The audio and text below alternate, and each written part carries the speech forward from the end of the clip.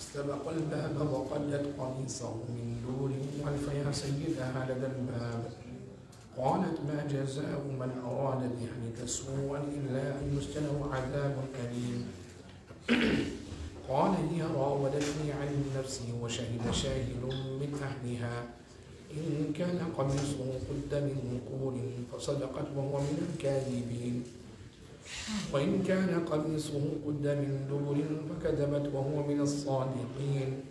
فلما رأى قميصه قد من دبر قال إنه من كيدكن إن كيدكن عظيم. يوسف أعرض عن هذا واستغفري لذنبك إنك كنت من الخاطئين.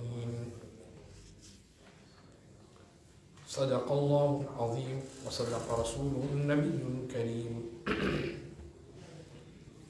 Continuing the tafsir of Surah Yusuf and we reached the state where the minister of Egypt his wife tried to seduce Hazrat Yusuf alayhi salatu was salam and she locked the door, make sure no one could come. And she was det- determined to achieve her objectives from him. And Allah Tabarak wa Ta'ala makes a mention in the previous verse, كَذَلِكَ لِنَصْرِفَ عَنْهُ السُّوءَ وَالْفَحْشَاءَ that we averted evil and lewdness from him. إِنَّهُ مِنْ عِبَادِنَا الْمُخْلَصِينَ Indeed, he was from our sincere bondsmen. Meaning Allah Ta'ala protected him from this immoral act of adultery and zina. so then Allah Ta'ala makes a mention وَاسْتَبَقَ الْبَابَ وَقَدَّتْ قَمِيصَهُ مِنْ دُبُرٍ they both raced for the door and وَقَدَّتْ قَمِيصَهُ مِنْ دُبُرٍ She tore his shirt from the back. So here we need to understand who is chasing who. So she is chasing him. So she is seducing him. He is trying to go away. And in the process, what happened? She tore his shirt from the back.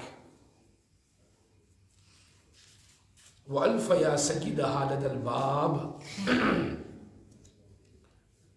Then they both encountered her master at the door.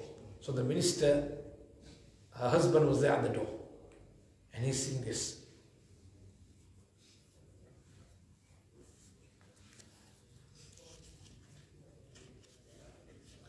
Before even Hazrat Yusuf salam could say anything, immediately she, st- she stayed, stayed away. And she tried to prove her innocence. So before even Yusuf والسلام, would say that he's trying to seduce me or after me,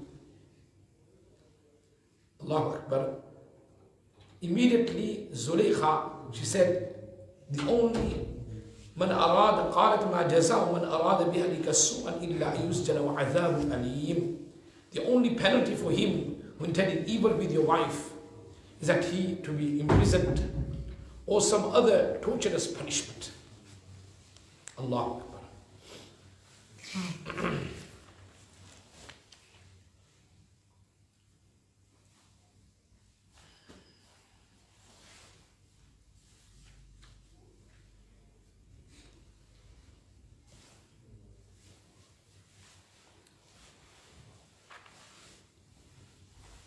قال هي راودتني عن نفسي Yusuf والسلام said no it was she who tried to seduce me to attain her motives so again he's trying to defend himself it's learned from this statement of Yusuf والسلام, that it is does, it does not go against piety and taqwa to defend one's honor and one's izzat. Someone's been accused of something, to defend that honor, to defend your honor, to defend your izzat, that does not go against piety. You know, sometimes someone has accused you of something, you have not done anything, Allahu Akbar, and you stay quiet. And we think that that's a sign of piety and taqwa, remain silent, doesn't really matter, let Allah deal with it. No.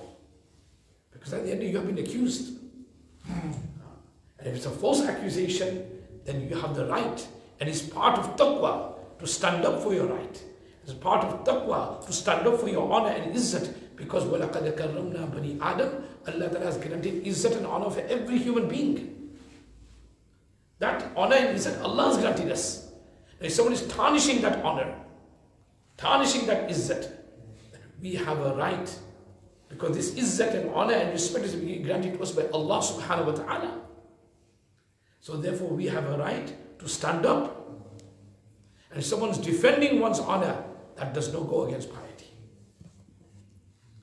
That's why sometimes people think part of piety is just to remain silent, quiet. Doesn't want to let people do so much actually quiet, won't do anything. No. Because then what happens? Then people take advantage of that and then any small thing they'll blame you for everything. Why? They know that you're not going to stand up for yourself. And these days no one else stands up for anyone else, let alone yourself. You find very few people who are going to stand up for other people and talk on behalf of the people who are going to protect their izzat and honor. We find very, very difficult. We all like to remain silent. Like they say Urdu, tamasha dekh. We like to look around and see what happened. That person's been dishonored, disgraced, defamed. We remain silent. Allah. Now just think, as a Yusuf wasalam, now how many times have we been in such a predicament where we know we're in the right, but we cannot prove it. What can we do? And no one's ready to listen to us. And sometimes you're in a situation where the, the weak ones the vulnerable people, they're the ones that are targeted the most. Minority, vulnerable, weak, people who have no real support, they're the ones that are targeted. That's why what happens, anything goes wrong, becomes a blame game, blame that person, blame that person, blame that person. And the normal people get blamed, for well, they haven't even done anything wrong. That's how society has become. It's because we don't stand up. We do not stand up. And we think by remaining silent, we're going to get away with it. No, we don't get. Allah will hold us accountable as well. when Allah will say on the day of Qiyamah, I granted you a tongue to speak the truth, why did you not stand up? My servant there was being humiliated and disgraced. What did you do? now look at this situation here of Hazrat Yusuf salam all alone in the house of the minister. Immediately the woman targeted him, seduced him, and immediately before he could even say anything, immediately she says, look, it's him. Give him a punishment, etc.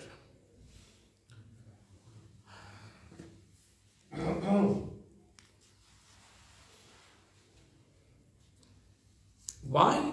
Should we stand up because a mu'min, a true believer, should never labor under suspicion.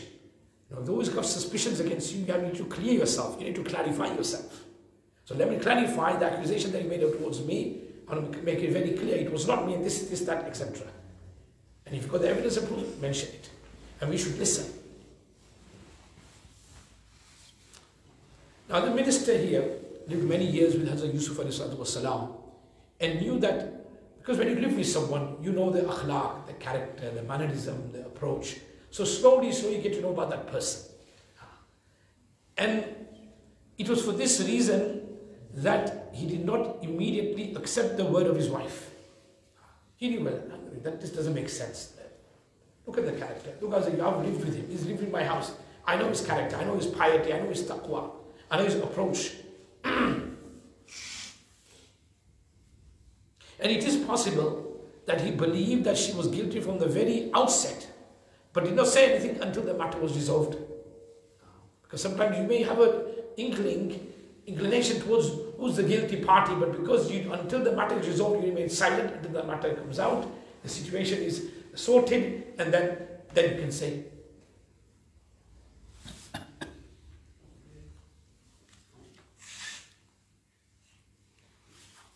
In this situation, Allah Tabaraka wa Ta'ala came to the rescue for his beloved Nabi Hazrat Yusuf alayhi salatu wasalam. Allahu Akbar. And it mentions here, وَشَهِدَ شَاهِدٌ مِّنْ أَهْلِهَا A witness from her family testified by saying, إِنْ كَانَ قَمِيصُهُ قُدَّ مِنْ قُبُلٍ If his shirt is torn from the front, فَصَدَقَتْ Then she is truthful. وَهُوَ مِنَ الْكَاذِبِينَ And he is from the liars. وَإِنْ كَانَ قَمِيصُهُ قُدَّ مِنْ دُبُرٍ However, if his shirt is torn from the back, فَكَذَبَتْ Then she is lying. وَهُوَ مِنَ الصَّادِقِينَ And he is from the truthful. Now there's no real clear proof here, but from this we learn circumstantial evidence. Circumstantial evidence also is accepted in court. They take that into consideration as well. This is what is taking place here. Subhanallah. We learn so much. Now, who was this person from the family who bear witness by saying his shirt is torn from the front? Allahu Akbar. It's been mentioned in the books of tafsir and hadith that Allah ta'ala caused an infant child from her family to serve as witness to this incident. So actually it was a small baby and miraculously Allah Ta'ala granted him the ability to speak and Allah and he became the witness. Allah. Rasulullah has said, this is a report in Imam Hakim is Mustadrak, that throughout history there have been only four infants who spoke in their infancy when they were small babies. So babies can't speak. But throughout history there have been four babies who were able to speak during their infancy. The first was this very child. The second was a witness for Hazrat Yusuf alayhi salam. The third, and the very child, I'll talk about this very child in a bit as well, inshallah. The third was the one who testified to the innocence of the monk Jurayj. And the fourth was Hazrat Isa alayhi salatu salam. Another child that spoke in infancy. A narration reported by Abdullah ibn Abbas radiallahu ta'ala the Prophet narrated the following incident to them. He told them that when he ascended the heavens during Miraj, he smelled the most beautiful scent. When he asked the angels accompanying him from where the scent came from, they said it was from the woman who used to comb the hair of Pharaoh's family. So they're his daughters, whatever. So this woman used to comb their hair. And once she dropped the comb while combing the hair of Pharaoh's daughter, Thereupon she said, Bismillah. Thereupon she said, Bismillah. The girl immediately asked her, Whose name have you taken here? Why, should, why did you not take the name of my father? The, in the name of your own? Why do you say in the name of Allah? What's this? She replied, now, now she knows what's going to happen to her there.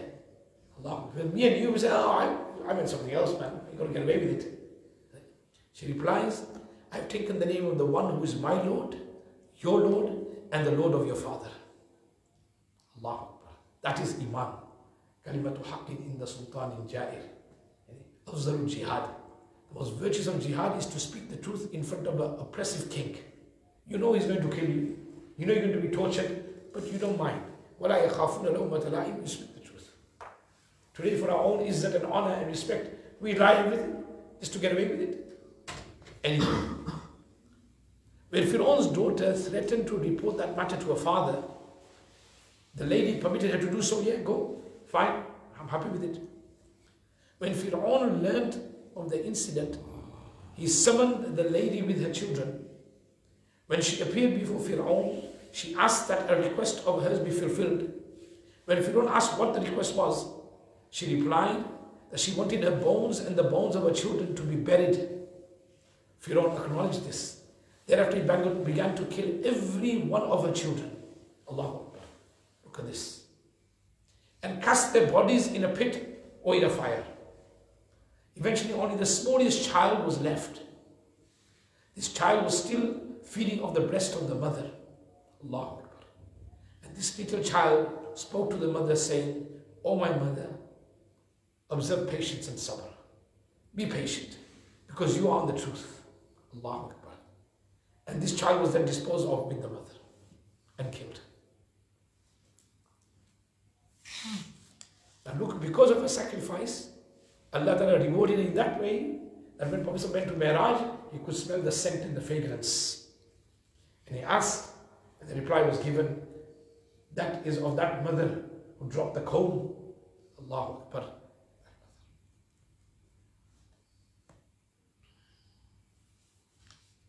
Subhanallah.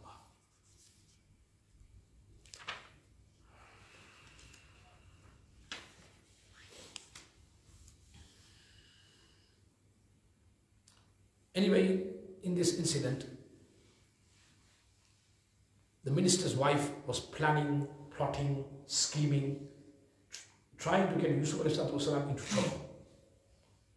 And she'll do whatever she can to get him, get him into trouble. From this, we also learn that a woman's planning and plotting and scheming can be very, very dangerous. And women can be great fitna. And that's what the Prophet ﷺ has mentioned.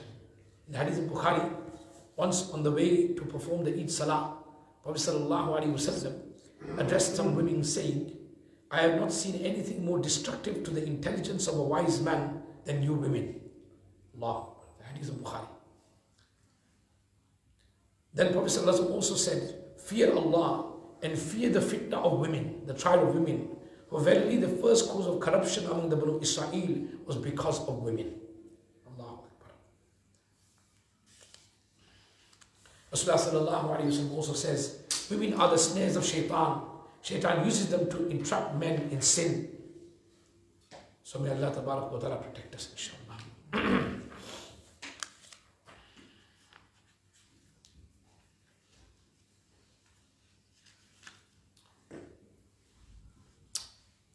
فلما رأى قميصه قد من دبر when he saw that his shirt was torn from the back he said, Innahu min kaydikunna. This is definitely from the trickery, trickery of you women. Inna kaydakunna azim. Your trickery is indeed very dangerous. The trickery of, trickery of women, the plotting and scheming of women is very dangerous. One great scholar mentions that Allah Ta'ala, when He talks about the plotting and scheming of shaitan, Allah uses the words, Inna kayda shaitani kana da'ifa. The plotting and scheming of shaitan is weak. When it comes to women, Allah uses word inna kaydakunna azim. Indeed, the, the mockery and the planning and the plotting and scheming of women is great, is dangerous. Allah Allah Anyway, the minister noticed all this. So then he addresses Yusuf alayhi salam. Yusuf, a'rid an hada, overlook this overlook this. You know, this situation that's happened, just overlook it. Don't mention it to anyone. He understood that he wasn't the truth, he was al haq, but he didn't want to create a fitna. The minister, you can tell he was a very wise person. Uh, sometimes to, you know, suppress all these sort of situations, actually it stops the fitna, it prevents the fitna, it prevents all these rumors and etc. going on, and creates more issues. So this minister was very, very wise. Yusuf just overlooked this. How many times we say that, just overlook it now. What's happened is happened, It's overlooked. Just going to create more fuel to the fire. Now this thing is a big accusation at the end of the day. Massive accusation. Yet still, but obviously he remembered the ihsan and the favor of the minister that I was nowhere and he actually brought me to his house. So therefore he could he's always reminding himself of the favors of the minister and therefore obviously he was ready to overlook it. And then when he came to Zuleikha, the minister's wife, he said to her, وَاسْتَغْفِرِ لِذَنْبِكِ And seek forgiveness for your sin. Seek forgiveness for your sin. إِنَّكِ كُنْتِ مِنَ الْخَاطِئِينَ You're truly of the sinners. As for you, you repent. Seek forgiveness. Repentance and tawbah, istighfar, Allahu Akbar, is very, very important. Especially in the life that will be guaranteed by Allah subhanahu wa ta'ala. Whenever we get the chance, do istighfar. Because we do not know when our time is going to come to depart from this world. Let it not be that we, a time comes for us to depart from this world and we are deprived of tawbah. We are deprived of istighfar. We are deprived of seeking forgiveness from Allah subhanahu wa ta'ala. Don't ever think, don't look at the sins that we've committed, that I've committed so many, there's no chance. Look at the mercy of Allah subhanahu wa ta'ala. Look at the rahmat of Allah subhanahu wa ta'ala. Allah's mercy is vast. Allah's mercy is vast. He's ready to forgive anyone and anything until the last breath. May Allah subhanahu wa ta'ala grant us the tawfiq and the ability to follow the footsteps of Hazrat Yusuf alayhi salatu wasalam and, and grant us piety and righteousness and taqwa and being chaste. And Allah ta'ala grant us the tawfiq to seek forgiveness from all the gunas and the sins that we have committed. And may Allah ta'ala grant us the tawfiq to remain steadfast upon iman and when we depart from this we'll depart with iman. Subhanallah wa bihamdihi. Subhanakallah wa bihamdika. Ashhadu an la ilaha illa